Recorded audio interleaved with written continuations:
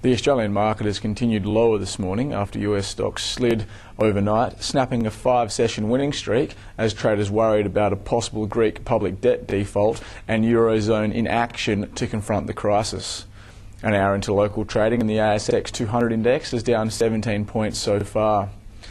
In local news, Leighton Holdings subsidiary Thiess has won a major $100 million contract with Fortescue Metals Group for Phase 1 development works on the Solomon Hub iron ore mine in Western Australia's Pilbara region.